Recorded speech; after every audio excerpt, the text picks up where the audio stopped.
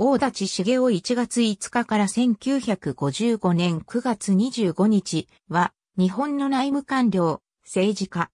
小磯内閣で内務大臣、第5次、吉田内閣で文部大臣を務めた。参議院、議員一期。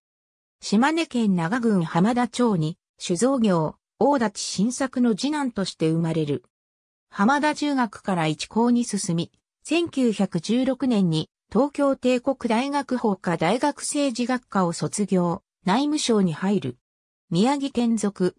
福井県知事時代内務省では、地方局財務課長を経て1932年、福井県知事となる。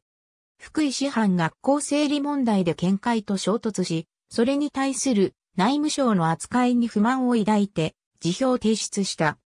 1934年に満州国に招かれて、満州国国務院総務庁法制省長、1936年度国務院総務庁長を歴任。しかし、満州国産業開発5カ年計画などを中心とした満州の重化学工業化方針をめぐって、関東軍と対立、結局、星野直樹などの経済官僚と入れ替わる形で辞任した。しかし1937年には召集されて、北市方面軍最高顧問となった。1939年に平沼内閣が成立すると、木戸光一内務大臣の下で内務次官に就任、安倍内閣と与内内閣でも内務次官を務めた。大戦中の1942年に湘南特別市長、陸軍事政長官を務めた。1943年7月1日の東京都政施行により、東京市と東京府が廃止され新たに東京都が設置されたのを受けて、大立は初代東京都長官に就任した。都長官としては、学童疎開や建物疎開を推進、空襲からご神営を守ろうとして殉職する校長を懸念して各校のご神営までをも疎開させた。同年9月には上野動物園に対し戦時猛獣処分を命じたが、これが後に土屋幸雄のノンフィクション童話、かわいそうな像の原案となった。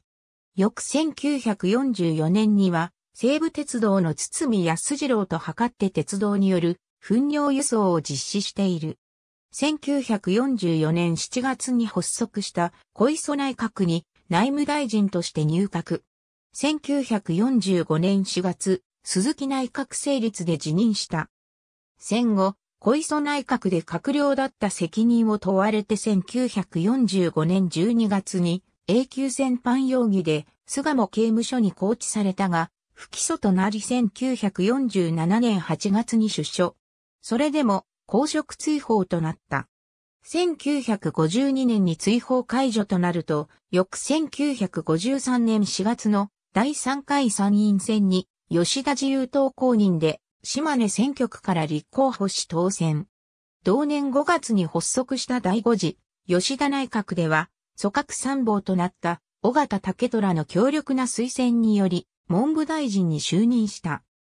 文章在任中には教育方針をめぐって、教員と父母が保守派と進歩派に割れて対立した京都、朝日が丘中学事件では、学校を封鎖した進歩派を暴力革命と非難。これを契機に日教祖の影響力を抑制することに全力を注ぎ、いわゆる教育に法を成立させた。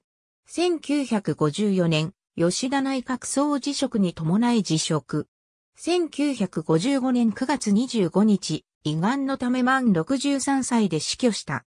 墓は青山墓地にある。小磯内閣に内務大臣として入閣した大立ち。ありがとうございます。